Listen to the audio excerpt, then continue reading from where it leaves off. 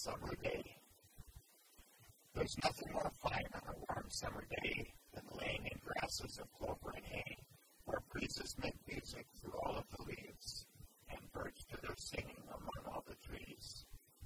A butterfly zigzagged here, hither and yon, busily flapping as I looked on.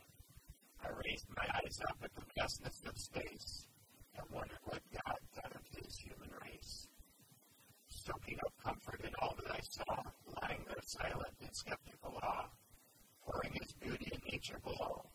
Oh, how did God start it so long, long ago? He continues to bless us year after year.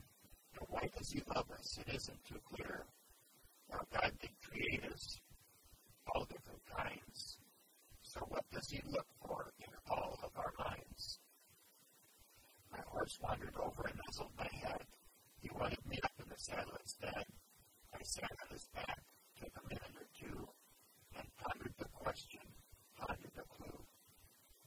I kicked his haunches, I knew as I ran that he would obey as I leaned to the wind. He faithfully galloped with all of his might. The answer revealed as I rode